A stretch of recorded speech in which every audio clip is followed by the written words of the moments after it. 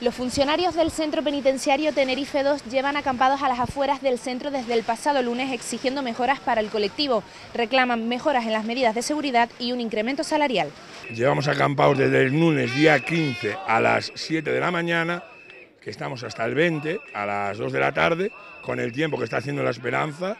Eh, puedes comprobar cómo tengo la voz, he dormido hoy aquí en la tienda de campaña y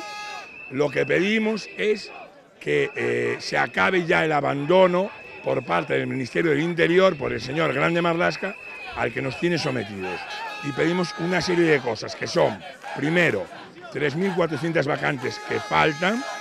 eh, sin cubrir en todas las prisiones de España, concretamente en Tenerife 250,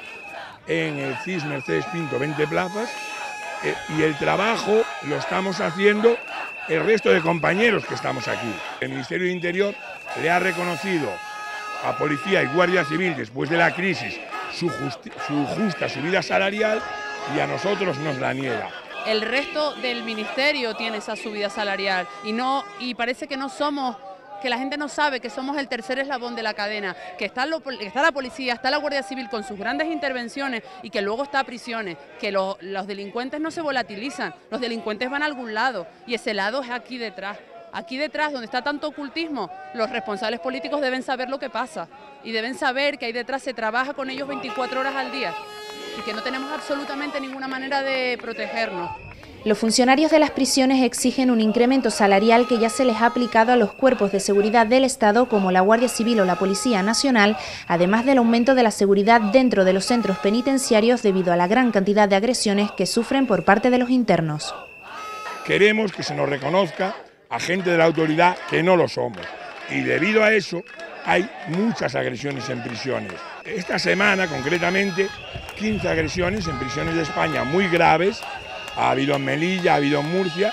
y, las más graves ha sido en La Coruña, que dos compañeros que estaban trabajando, como los que están trabajando hoy ahí adentro, dos compañeros con 150 internos, han salido en ambulancia de su puesto de trabajo al hospital por una agresión a cabezazos y a puñetazos de un interno. A través de la plataforma Tu Abandono Me Puede Matar, creada en Málaga y que ya se ha extendido por todo el territorio nacional, los afectados denuncian las agresiones que sufren en las prisiones españolas. Solo en lo que llevamos de semana se han dado hasta 15 casos de agresiones dentro de los centros penitenciarios de toda España. En Málaga surge el movimiento, es una prisión con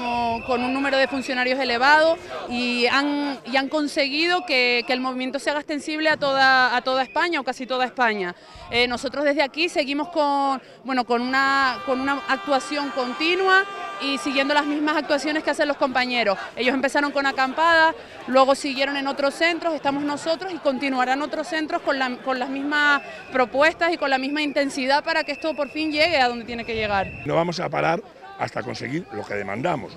que le llegue al señor Marlasca, que le llegue al señor ministro Marlasca y que se digne a bajar de su coche oficial para ver lo que pasa en las prisiones. Marlasca, escucha, unidos en la lucha.